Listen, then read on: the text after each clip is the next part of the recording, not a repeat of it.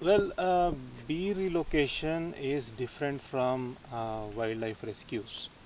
Um, only the cavity nesting bees. But with respect to these uh, rock bees, relocation is not a sustainable solution because these bees, as I told you, they cover larger area for foraging. That means their familiar area is so big.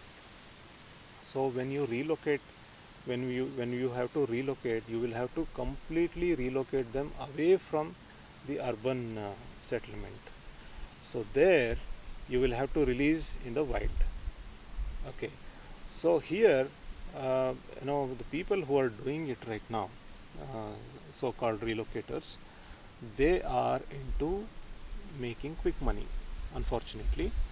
So more number of hives they relocate in a day more money they can make they cannot relocate one hive away from Bangalore, say 55 to 65 kilometers away from Bangalore, if they have to release wherever there will be no apartments and no buildings.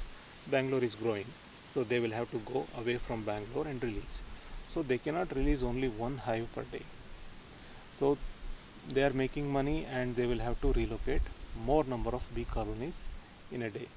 And that's why they will get everything in a bag and they will release them in the next road or the next cross or the next block. And again they will go to some other same kind of apartment buildings. Uh, relocation is is not a sustainable solution. Only two things we can do we can work on. One is with uh, uh, the uh, small hacks by understanding their migratory time of the year they will get in when is the swarming time of the year and when the swarms are getting into Bangalore.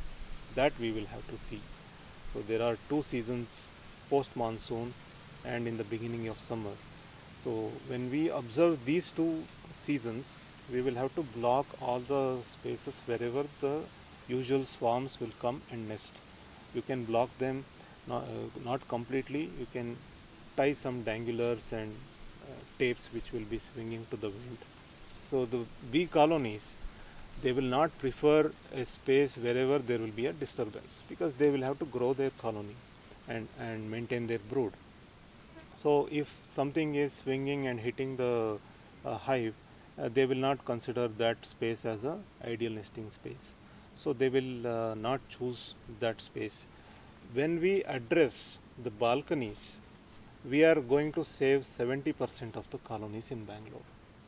So when we do these small hacks by avoiding them getting in, in, in the uh, balcony space, we are saving a lot of bees.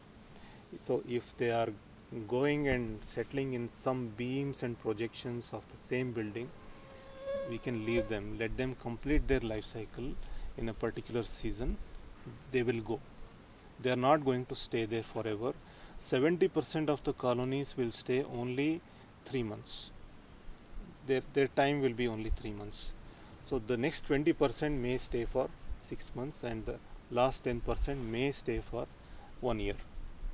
So that's why if you wait for 3 months, you can save 70% of the colonies in Bangalore, in, in urban India. So that's why this uh, knowledge of uh, bees and how to behave when they are when they are so near. Uh, so if we know this, we can really think of coexistence.